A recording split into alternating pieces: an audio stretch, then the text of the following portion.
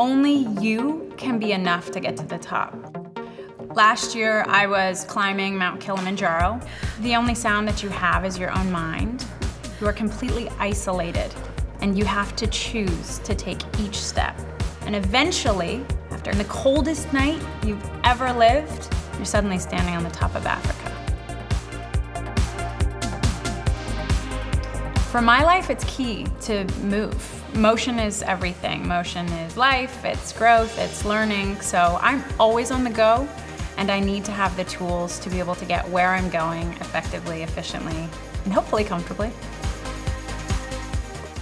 You do not have to fly to the other side of the world to have an adventure. Hey, welcome to DesignWorks. Ravon, look at this. This is LA.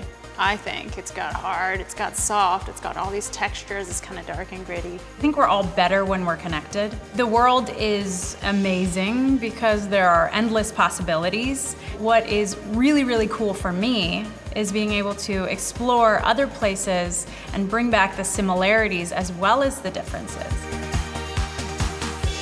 This is kind of the Natural History Museum of DesignWorks. So some of the vehicles that we've done in the past. I love this. I flew a couple planes when I used to work in Alaska. This is gorgeous. Hold on. Why is there a bobsled? You guys.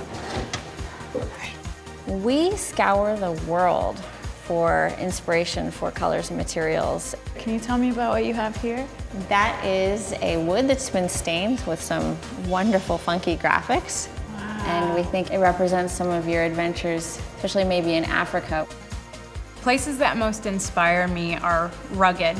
They're primordial. There are greens and blues, browns, yellows. Everything is wide open. There's adventure around every corner. You just have to be willing to go out and find it. I love trying new things. Think of the best road trip you've ever taken you don't know exactly how it's gonna go, and that's the fun of it. It is really easy to go with the flow, but you will never know what you're capable of unless you take that road less traveled. As long as I get to keep exploring and sharing the world with other people, I'm game.